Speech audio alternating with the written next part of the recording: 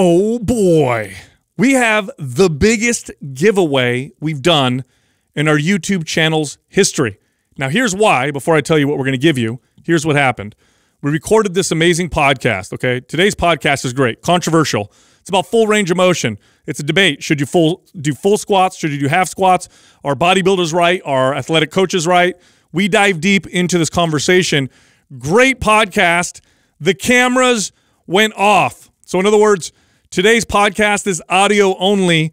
There's no video. So we feel real bad about this, which is why we're going to do the biggest giveaway we've ever done ever. First off, here's how you can win the following prize. The prize is a super bundle. This is the biggest program bundle that we offer. It includes Maps Anabolic, Maps Performance, Maps Aesthetic, Maps Anywhere, Maps Prime, Kettlebell for aesthetics. You have the Build Your Butt uh, mod that's available in there, and the Sexy Athlete mod. All of those are in this bundle. You'll get all of those for free, but you got to do the following listen to the whole podcast. Okay, so from beginning to end, in the comments in the first 24 hours, tell us your thoughts. Do you agree with us, or do you agree with people who say you didn't, you don't need to do full range of motion training? Start a nice conversation in the comments. Okay, it's got to happen in the first 24 hours. We'll go through the comments. We'll pick the best one. And if you win, you get the super bundle. Also, subscribe to this channel and turn on notifications. Uh, by the way, we are also running a sale. So we have Maps Anabolic that's 50% off. We also have our shredded summer bundle that's 50% off. You can find those at mapsfitnessproducts.com and use the code April Special. All right, enjoy this podcast. So you know our friend Ben Pollack, right? Yeah. Uh, power lifter turned bodybuilder. Love Ben. Yeah, smart guy, um, and he's uh, built an incredible physique. The guy's gaining crazy amounts of muscle lately. But anyway, he screenshotted a comment. Oh, you're gonna go here. Yeah, and put it up, and then it started this whole like back and forth between people. So the Hmm. screenshot came from, and you got you know who this page is. Yeah, I got- from uh, Lift Run Bang. Yeah, great name. Yeah. Live from bang. Yeah. This, by the way, that guy's super sensitive. So be careful if you comment and you say the wrong thing, he'll whatever lose his mind. But anyway, his comment that that Ben uh, screenshotted says, "A large range of motion for the sake of more range of motion is disadvantageous for hypertrophy because all muscles have a limited active range of motion in a movement." Once the range of motion exceeds that, then something else has to compensate for that extra range of motion just so many bad comments and interpretations about hypertrophy in here. Uh, by the way, the guy sounds smart. Um, No, he's a smart guy. And Yeah. here's the thing: the, the statement in itself is not incorrect and wrong. Do you have my comment back in there? well, I'm going to read both. So I read Okay. mine, I'll read yours, right? Because uh, what he's saying is. It's, I guess, the way he's saying it might be true, but so here's my, my what I said underneath it. I said, so long as the range of motion is under control with good stability and connection, okay, so that's the context, okay, then a greater range of motion generally leads to more muscle growth and a larger range of strength spanning over a greater range of motion. In other words, deep squats, so long as the person doing them has good mobility, connection, and stability, will build more overall muscle and broader strength than shallow squats. By the way, all the evidence, all the data uh, proves what I'm saying. But remember, I'm saying generally more muscle, more connection, all that stuff. Adam comment that, of course, irritated uh, the sensitive guy, so he had to come back. But then Adam came and he says, "I guess the question I have here is, who are we trying to help?" We seem to have attracted several fitness intellects that want to debate all the nuances of biomechanics for the sake of being more right. Meanwhile, losing the majority in the weeds, or worse, justifying why we should not address our shit mobility so long as our pursuit is to build more muscle. When I see posts like this, I'm always curious to what the desired outcome is. Um, I, I, I mean, I of course I agree 100 percent with what you're saying. Of course, I agree with what I'm saying. Yeah. So the the debate is over range of motion. It's still a debate, and usually the side that argues against range of motion are comes from the bodybuilding space, where they'll say that uh, too much range of motion takes tension off the target muscle, results in less muscle So is growth. that, is that the main thing that they just feel like they're losing a bit of tension once they exceed a certain range of motion, and so therefore, in terms of hypertrophy, it, it seems like it's no, useless. no, it's because they have shit mobility and they can't get you know. And here's how I can and why I like to speak to this one. And this one I'm, I feel passionate about because I was this guy. Like literally, I I love to attach myself to someone like this that was preaching some of this because I had poor mobility. I couldn't squat past 90 degrees very well, and it and it made me feel good about it. Like, oh yeah, I don't need to. Mm-hmm. I don't need to. And you had all the accolades to back you up. You were a pro IFBB physique competitor. So you had developed this incredible physique. So why would you want to listen to anything else? And and and and they're right. You don't necessarily have to to build that. But I tell you what, when I began to work on my ankle and hip mobility and and my my squat depth, so many other positive things besides just building muscle. So by the way, the first thing I think is untrue and what your statement I do believe is true. Once I got to the place where I had good stability and control in a deeper range of motion and could do a full ass to grass squat, I was able to build more muscle in my legs with less effort mm-hmm. by doing that. I noticed that right away. And then I also noticed all the other benefits, like my back pain going away, Right. like the ability to sit down comfortably and play with my son and do things that I couldn't do before because I wasn't addressing mobility. So that's why I came out with a statement saying that I just don't understand the desired outcome when you say something like this because a 20 year old me reads that looks at this guy who looks impressive, and I go, "Oh man, he, yeah, okay, yeah, fuck that. I don't need to go any deeper, like, I because all I care about is looking good and building muscle, and so I neglect working on my mobility in pursuit of wanting this great physique. But um, then I get caught up with all this other bullshit. One hundred percent. And and again, here's the the deal: is because he's saying past a certain range of motion, you if you lose connection to the target muscle, well, yeah, uh, you, you don't train in a range of motion that you don't have connection to and that you don't own. Right. That's what mobility is, right? So if you squat to 90 degrees and if you go below 90 degrees and all of a sudden you lose connection and stability, that greater range of motion is not going to be better for you. Right? It's right. going to be worse for you. Right. So what we're saying is not greater range of motion at all costs. What we're saying is a greater range of motion that you're connected to is better for overall muscle growth. Oh, by the way, overall strength too. Because here's the deal: the strength that you gain when you when you do exercise, most of it goes to the range of motion that you train. So in other words, if I squat to 90 degrees and I mm-hmm. add 100 pounds to my squat, most of that strength is in that range of motion that I train. There's some carryover outside of 90 degrees, but the further I move away from that, the more, the less of that strength that I get. In other words, if you can squat 300 pounds at 90 degrees, you're not going to be able to squat 300 pounds ass to grass. You'll be lucky to squat 220 pounds ass to grass, especially if your mobility is poor. So, being connected is the, th- that's where you have to be. And if you're connected and you own the movement, greater ranges of motion are superior. And again, the data is clear on this. It's very, very clear. Um, but again, I, I think sometimes we get these like really small groups of nuanced individuals, and and I think we should talk about cases where shorter ranges of motion uh, may be beneficial, or where larger ranges of motion aren't necessarily uh, beneficial to some, you know, in right. Some So if you're talking about like sports specific uh, instances, like so everybody's familiar with the LeBron James squat, like the quarter squat, and it was getting like just fire blazed because of that. And if you think about it, like where are you going to generate the most amount of power when you're on the court and when you're about to jump and when you're going to be the most explosive? So you know, really training that specific range of, range of motion to generate the most amount of force makes sense in that specific type of of, of direction. Absolutely. And, and, and a note about athletes if you watch good athletes train with good coaches, they are not training for optimal health, uh, optimal mobility, optimal, uh, you know, overall, like, you know, real life strength.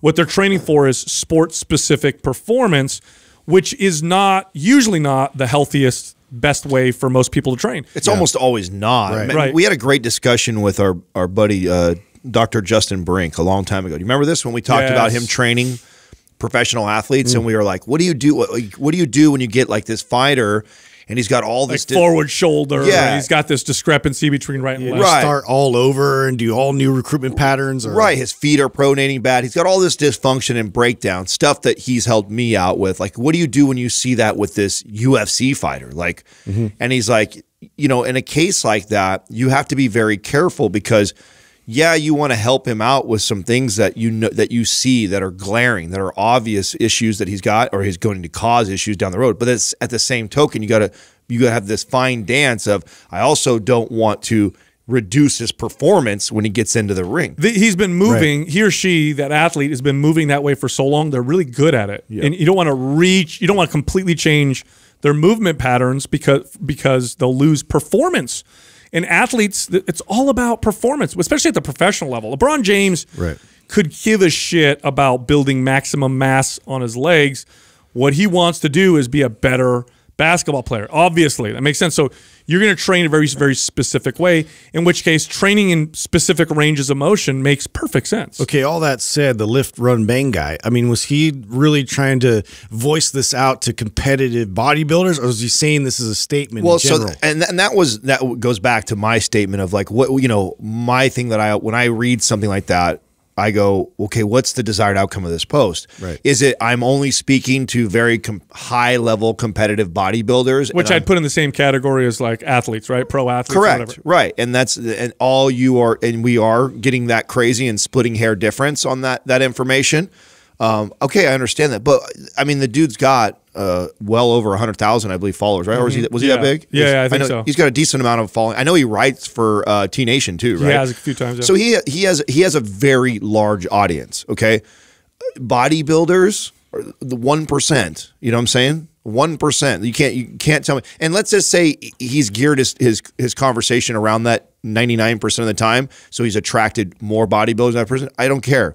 There's you still don't have 80 percent of your followers are are professional bodybuilders. Most of these people that are following were probably kids just like me in their 20s that are aspiring to look like this guy and he's talking real smart so he sounds like he knows a lot of information and he does. He writes for t nation. The dude's a smart guy. He knows what he's talking about. And i don't disagree necessarily with the statement that he's saying it's just that I, you got to understand how and this is what this is the difference between being a personal trainer and a coach when you've communicated message the same message Right. a thousand times over to clients you start to realize like what are the behaviors that follow this? that's right. And, and and how does the how does the client receive that information?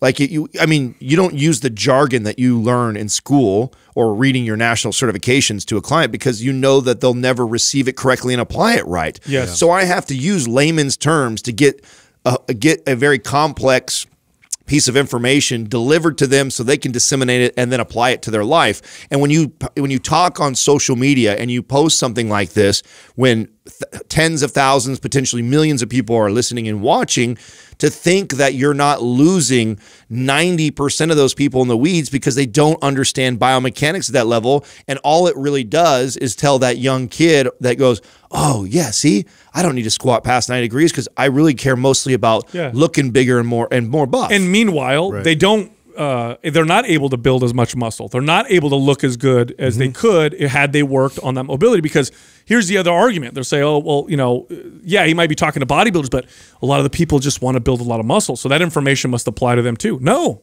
no, it doesn't. You take a hundred people who really want to build a lot of muscle, average people, okay, who really want to build a lot of muscle.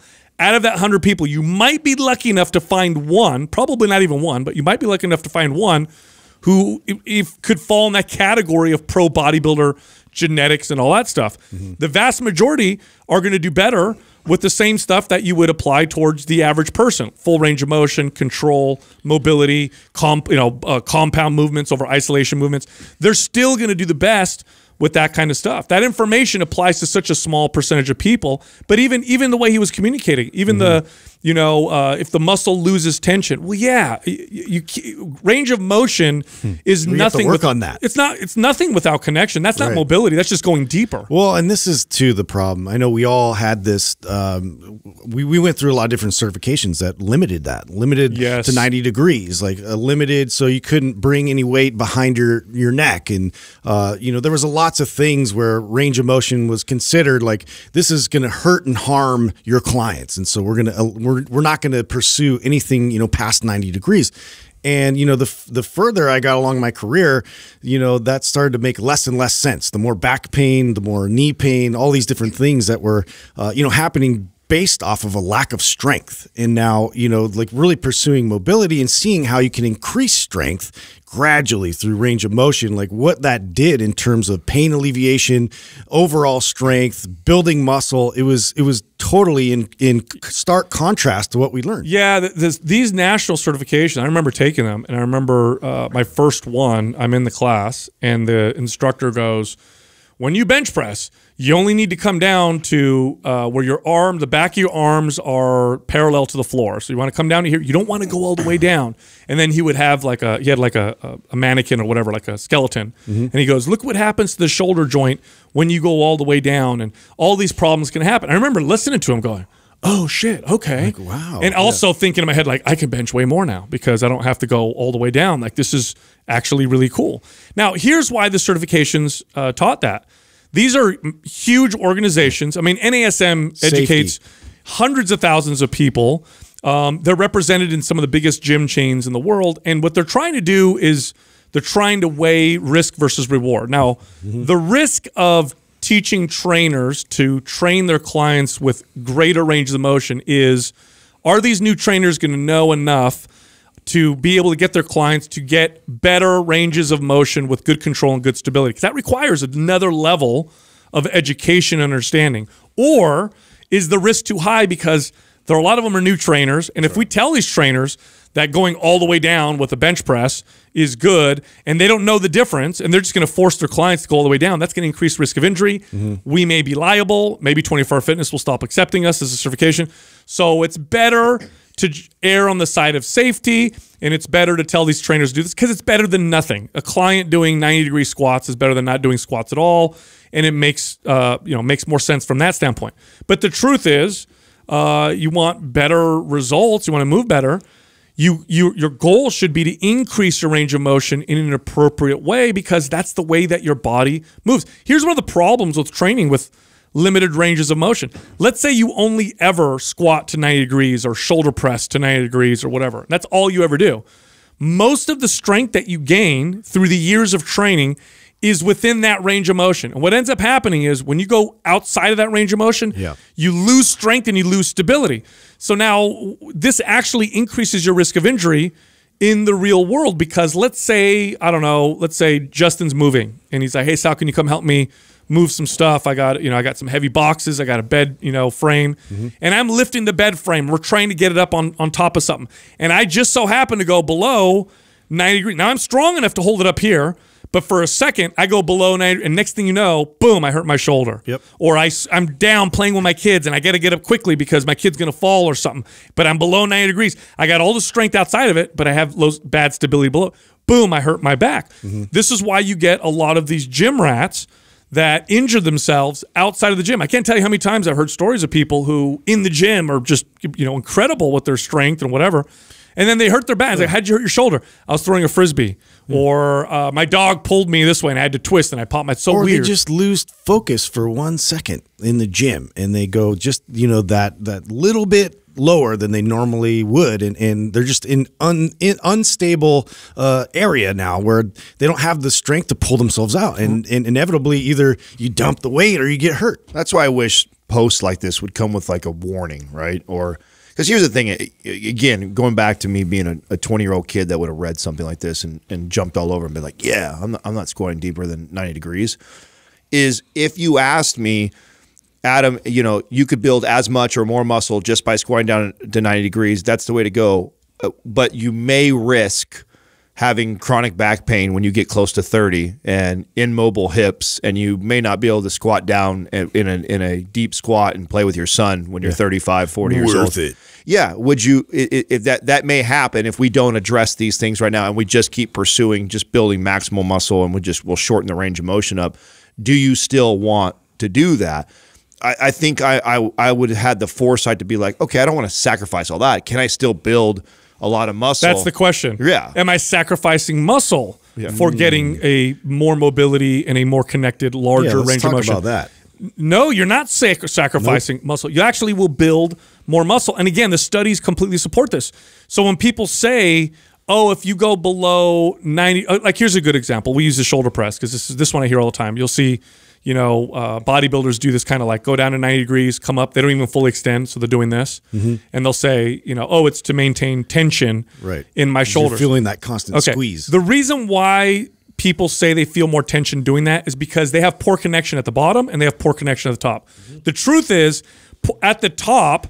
I can, and you as a bodybuilder, if you're a bodybuilder, this is your job. Like literally, this is your job when you train. Your job should be to know how to connect to your muscle at any given moment. That's what bodybuilders do best. Right. If you're fully extended up here, it's your job to connect to the shoulder. Like right now, I'm connected to my shoulder. If you're at the bottom, don't let the weight just sit on your arm. Connect and activate the shoulder. The shoulder can be, you can have tension on the shoulder through the entire range of motion. The goal is not to lock out, allow your joints to support the weight. Nobody ever says that. Right. Mm-hmm. You can maintain tension. Can I keep tension on my quads hmm. at the bottom of a squat? I can. Can I take tension off my quads at the bottom of a squat? Well, yeah, if I sit on my my calves and I'm relaxing. Right. But you should never do that with an exercise. There's never a case with an exercise unless the weight is on the floor. And even then, I say maintain tension. You should never, in any range of motion of any exercise, lose tension to it. Never relax in any position, whether it's full extension, fully extended, or or not. that you takes keep it- discipline. That's a way Yes. of training, and, and you know to to eliminate that from the conversation is is ridiculous. So it again, like it, to to Adams or, or I don't know whoever's point, but it was like you know to me it just it, it it speaks of kind of a lazy approach. Like okay, so we're just going to eliminate the fact that you can do all these things and not have to like apply aids. I'm not going to have to have things that are supporting me in certain ranges of motion because I haven't put the work in to actually control and own that part. Well, really, it's just trying to be a contrarian. I mean, it's really knowing that it's clickbaity to say something like that because there's going to be a, a massive amount of, of trainers that know better that are going to speak out, and then there's going to be a group of people that are going to want to jump on that bandwagon. That sounds good, and and again, this is one of these things that really annoys me about our space is that that conversation is such a high level conversation for most people. It's so above everybody. The average gym goer, it's above their pay grade. Like you, that you don't. I would never have that conversation with somebody in the first three years of training them. Like there's no reason to even go there. Like we have so much stuff we need to learn and work on. So when you post things out like that, you just it's irresponsible in my opinion. It's and it's not that much different than the other debate that we get into, which is the people that like to debate that you know uh, squatting barbell back squatting is not necessary and you don't need to do it. And in fact, there's other exercises like hack squats that will build your quads more. I just think it's a a bad message. C- can you argue that? Yeah, you can make the argument for it. Do I think it's true? No, I don't think it's true. And I think it's, a, and more importantly, I think it's a bad message because there's so many health benefits and longevity benefits to learning how to squat properly. It's such a functional movement. I mean, off air when we were originally talking about this episode, you know, Doug talked because Doug's been working a lot the last like two years. I don't know if it was uh, watching my mobility increase or whatever like that that inspired him or whatever, but I know he started to really pursue his his uh, uh, range of motion on his squat depth. And the, the thing that he's r- reported back is the exact same thing that I noticed. I had chronic back pain mm-hmm. for most of my 30s. Like I'm Squatting deeper made it go away. squatting deeper made it go away. But of course, properly, right? Right. Yeah. and what that was was the pursuit of getting to that this squat. It wasn't actually just dropping down into a, a, a full squat. No, that's how you hurt yourself. Exactly. That didn't get rid of my low back pain. It was every day working on my hip mobility, every day working on my ankle mobility. Then that allowed me get into a deep range of motion squat that I could control. That was supported. And now what's beautiful is I don't do all that mobility stuff anymore. Now all I have to do is do good deep squats and it addresses my hip mobility and addresses my ankle mobility and the the ben- and then on, and then guess what as a as a sidebar I've built as much or more muscle in my legs with less effort than what I was doing in the shorter range of motion. Yeah, I'm glad you said that too because uh, you have that. This is very important. It's not for just the sake of range of, of range of motion. It's you have to do it with good control, good stability, and good mobility. And if your range of if you're trying to increase that range of motion, it means you need to work on those things. Once those things are there, now you have a greater range of motion. Not just going deeper, not just having a larger range of motion. Because if you don't own it, you're going to hurt yourself. But you know, back to the argument of the shorter range versus the longer range, what builds more muscle? Look, as a trainer, I would get clients all the time, people who are deconditioned who, I mean, they couldn't even do a half squat without feeling pain, right? So they, they couldn't even go down to parallel mm-hmm. and they would do pain. Now, did I say to them, that's okay. We'll just do five inches and we'll just continue to load that because that's your range of motion? Of course not. Now, nobody would say that. That- That's not going to give them great results at all. If anything, that'll make things much worse. So my goal was to continue to increase the range of motion. But for some reason, all of a sudden, 90 degrees becomes the that's oh no no. It's good to go deeper, but 90 degrees is where we want to stop. And you ever wonder why where 90 degrees came from? Where where's that where's that number come from? They made that shit up. You know what the truth is? The mm-hmm. truth is a squat is a fundamental human movement. And the truth is there's full squats and that's it. Everything other than that is is is less than a full squat. But the 90 degrees, I think it's because for most people who train, once they hit 90 degrees, going beyond that requires a little bit more work, a little bit more effort, and more focus on mobility. When you sit in a chair and you sit on a toilet, is that 90 always degrees. ninety degrees? Yeah, yeah, I yeah. I mean, there's there's chairs in, where you're less than right, or or greater than, I guess, Yeah. the, the range of motion. But yeah, it's just to me, it's just so silly to to to focus on that as the the degree of of of like anything past that is unsafe. When in life in general, we're going beyond that already. Right. And so it's like it's like this argument when people say um, these exercises are dangerous and these exercises are safe. So don't do this exercise because it's dangerous. The truth is the thing that makes an exercise safe or dangerous is you. It's your body. Any movement, I don't care what the movement is by the way. Any movement that you have complete control over and mobility and stability with, any movement that you have those prerequisites with is safe for you. Any movement where those things are not there for you is now dangerous. A bar, a dumbbell curl, the most basic, simple exercise of- that that probably exists. If you lack the stability, the mobility, the connection to do a full dumbbell curl, that full dumbbell curl is dangerous for you.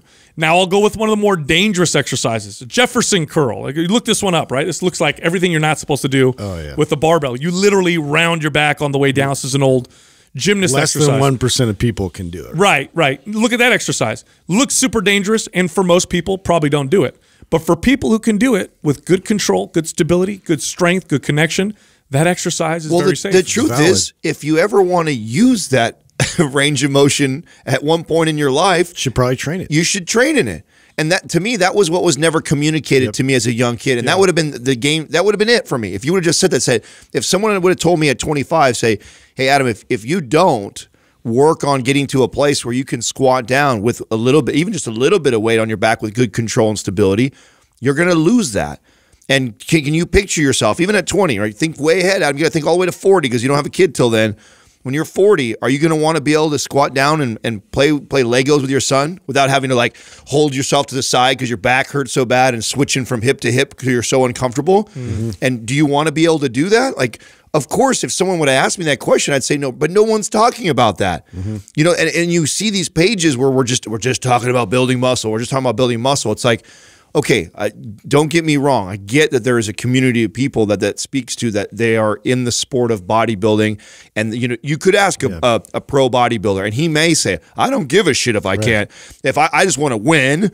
And whatever is going to get me there faster and mo- They'll take whatever stuff they Right. can to enhance it. and truth be told, okay, working on the mobility, working on the, the range of motion, it takes time. it's going to take it's going to prolong the results, right? It may it may take a little longer to get to a place where your legs are as big, right? So for a guy or girl who is in competition, who's now, and, and the reason for that is because you just can't load when you're working in that new range of motion. right Yet. yet Right. so it took time you know it, I, I took a good solid i don't know year and a half two year hiatus from really lifting really heavy working on on mobility and getting that good control but now i can i can load the bar as heavy at a 90 degree squat as i can all the way down ass to grass and i'm it, and the thing is back to the, the the the original point i'm trying to make that i think is so important is the majority of people that I know that I have that I trained, even the ones that said all I really care about is building muscle, if I would tell them, okay,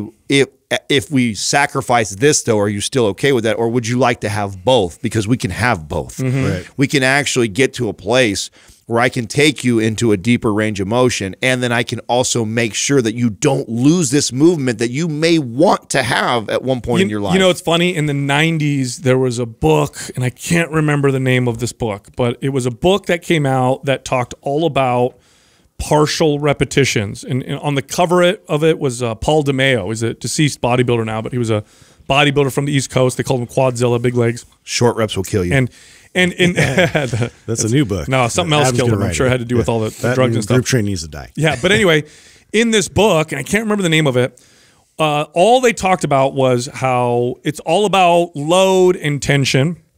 Range of motion is not important. So, in other words, let's say you could do a full squat with 200 pounds.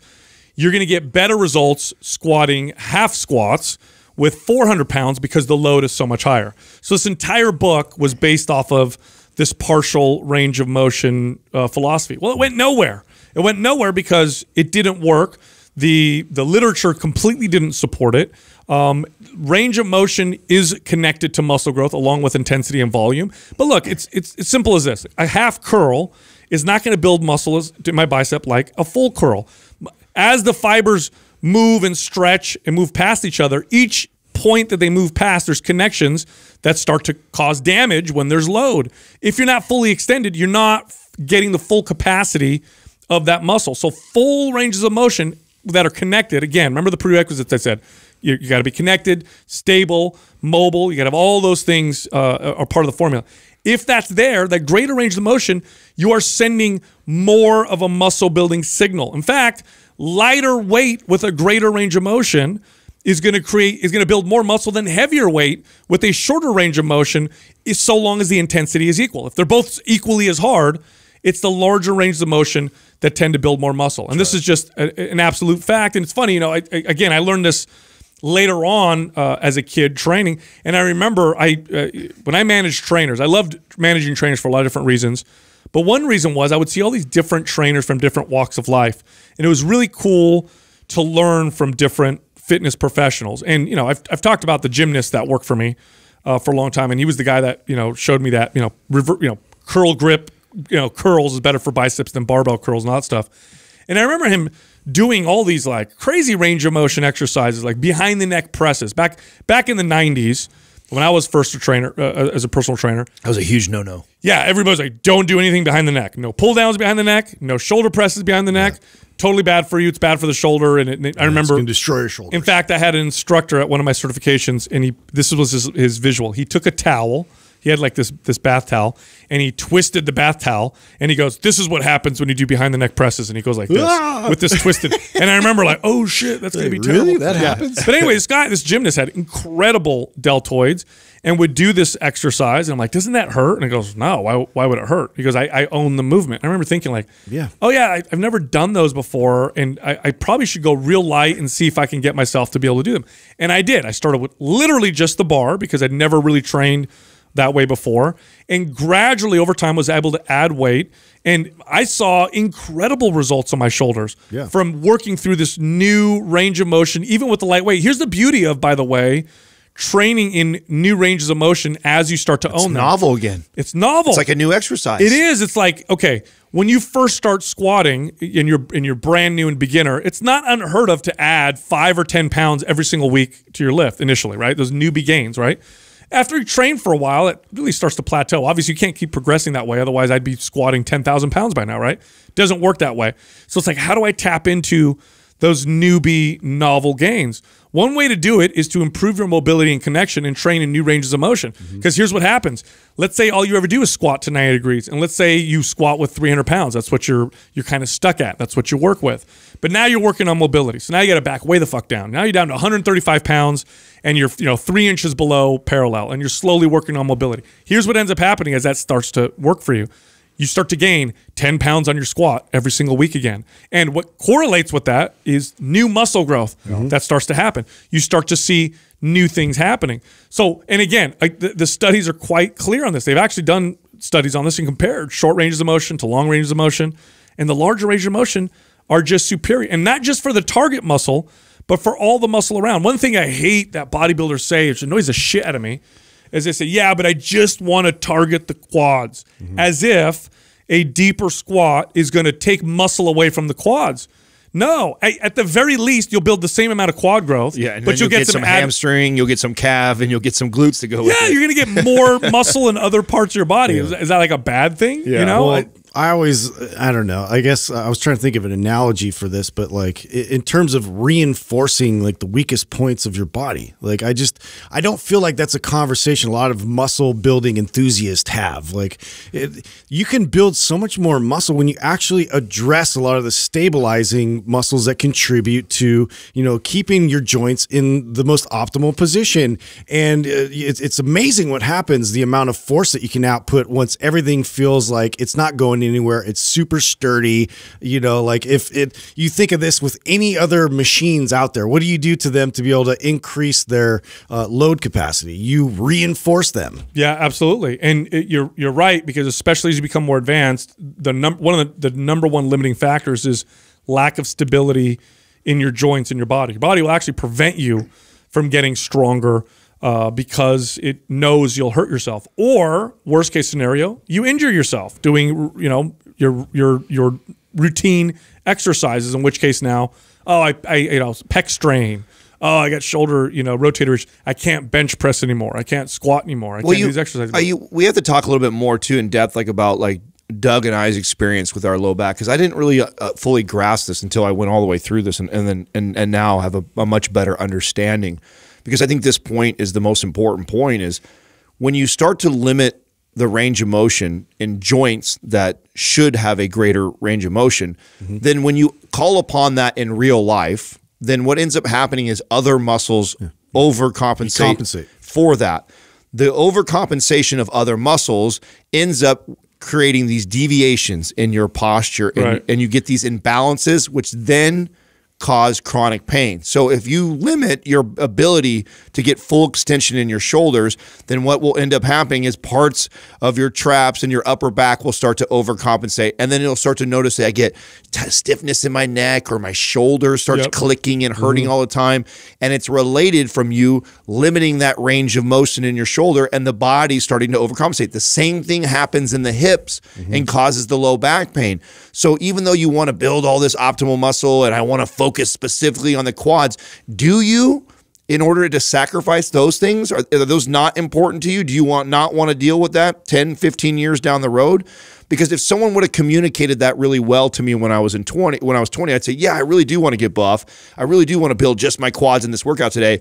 But I also don't want to be in that situation in 10 years because I didn't address it. Right. Now, now picture you sitting in that squat and like like playing with your son with Legos, and you've only done ninety degrees, and now you're trying to figure out now how to reach out in front of you, and now your back is compensating, you know, and it's rounding a bit, and all these things, and you're starting to really feel that sharp pain in your back. Oh. Versus sitting all the way down, you have you own that position, you're in control, you can be in an upright position even, and you know use your hands in front of you. Totally you- different. You can't even do it. No, you can't. You can't even do it. You can't. You just- yeah, you're falling that- forward. Yeah, you can't. I mean, I and I remember because I was there. I was. There, I remember when I first started working on this.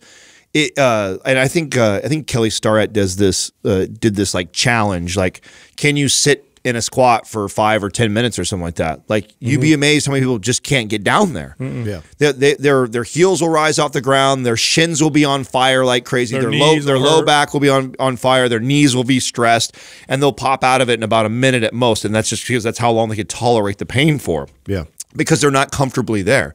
That- So that's most people.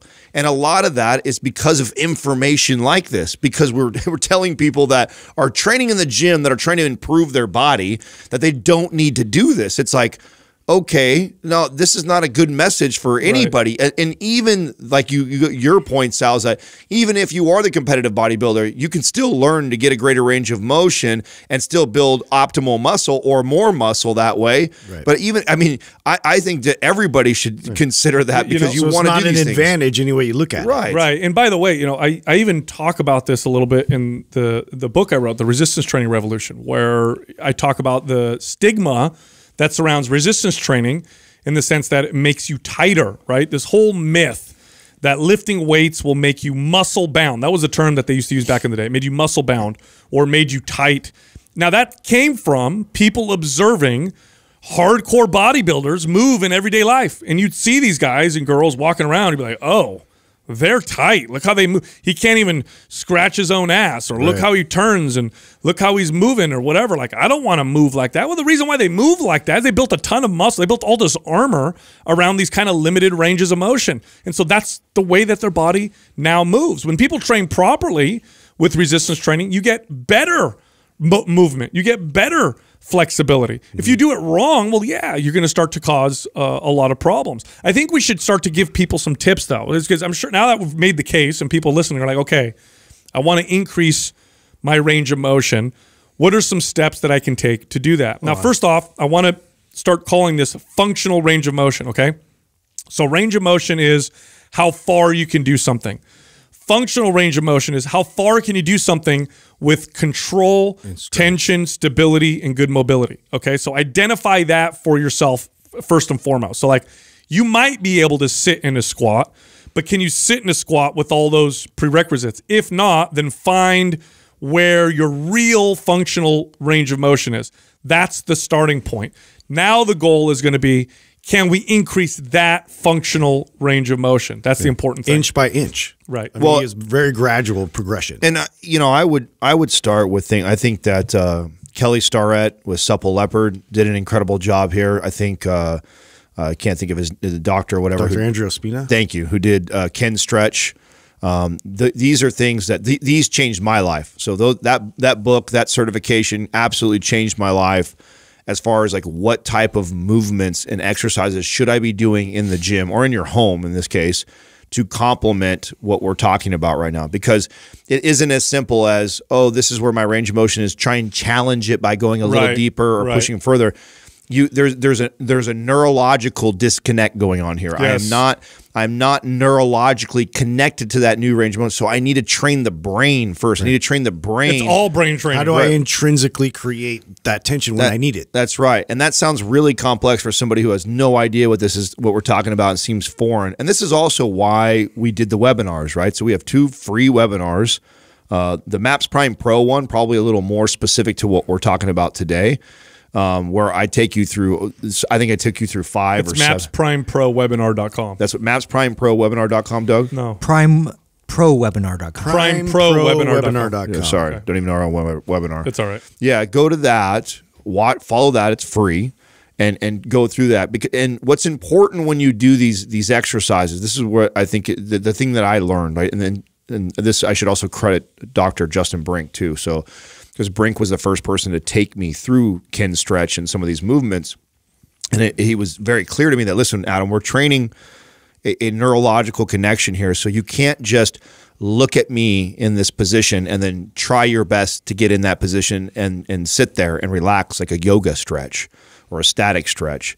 He goes, what you need to do is we you need to intensify the the You have to turn the muscles on. yeah, and, and it should be you should be working like an exercise the entire You're contracting the muscle, but uh, that's something that you have to actively do while you're getting into the Yeah, movement. yeah, and, and here's why, right? So when you stretch a muscle passively, like the old school stretches, right? So let's say I'm just like stretching my hamstring. So I'm gonna, I'm gonna, you know, bend down, touch my toes, relax, and little by little, I'll start to get deeper and deeper and deeper as my hamstrings start to relax and stretch out. What's happening is my central nervous system is getting this signal uh, that it's stretching, and it first it's tight because it's protecting, but then once it realizes things are safe, is it reduces this signal to my hamstrings, and my hamstrings start to slowly relax and open up. So the muscle itself is not becoming longer necessarily; it's just relaxing because the CNS signal is telling it to relax.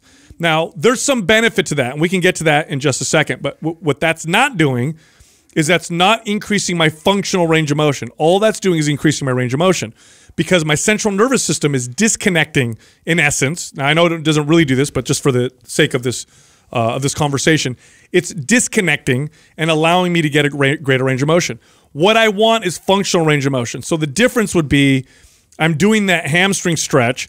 Then, when I get a little bit more range of motion, I flex my hamstrings and turn them on.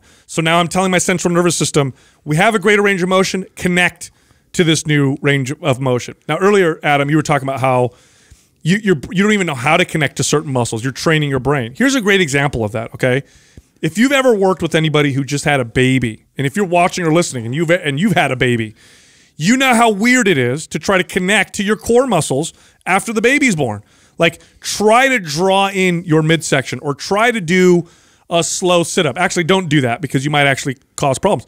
Those muscles were so turned off in order to create space for the baby They had to stretch all the way out. that when you go to reconnect to them, it's like a foreign muscle. It's like you it's almost like you unplugged the wire to the speaker and you're trying to get the speaker to make some noise.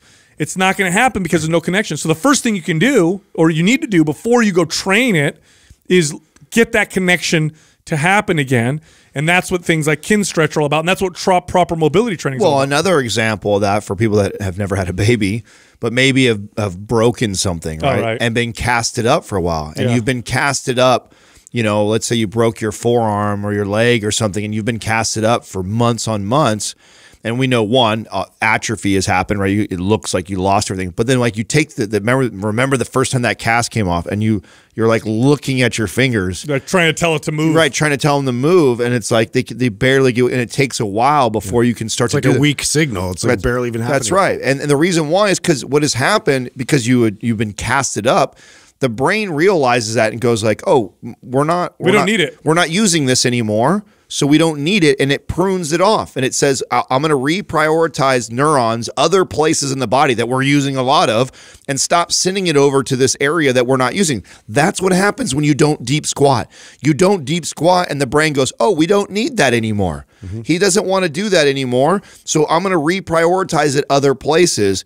If I understood that like I know now, I would have never shortened my. I would have never done these little quarter squats. I would have always been pursuing a greater range, especially in a movement as fundamental as getting down in a squatted position. Right, and it's because you know, and it, we all thought this that strength had all everything to do with muscles. It's the muscles that are strong. It's the, and that's that's not entirely true. Uh, a, a, a lot of your strength comes from this signal, comes from the central nervous system, the command center that's telling the muscles what to do, and that builds just like muscles do. In fact, that builds before muscles ever build. When you first start doing an exercise, the first thing that starts to adapt is your central nervous system, is your brain, uh, or the, the is the connection.